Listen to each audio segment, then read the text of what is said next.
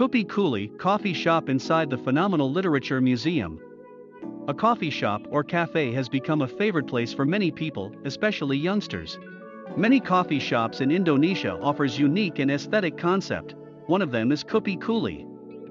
Have you ever been to the coffee shop inside the museum? Kupi Kuli is located inside the literature museum named Andrea Hirata. Andrea Hirata is the name of a well-known Indonesian writer. One of his many outstanding works is the novel of Laskar Pelangi. The story was then adapted as a movie in 2008 with the same title that became the Indonesian most watched movie of all time. The museum was built by Andrea Hirata in 2012.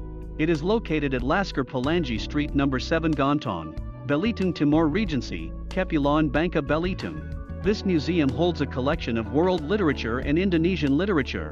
There are also properties of the Laskar Pelangi movie. Inside the museum, there is a coffee shop with a warm countryside atmosphere. Kupi Kuli serves coffee and fried foods for the visitors.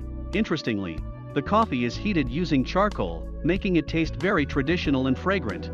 To enter the Andrea Hirata Literature Museum, visitors must pay an entrance ticket for 50,000 Indonesian rupiah or 3 US dollars and 49 cents.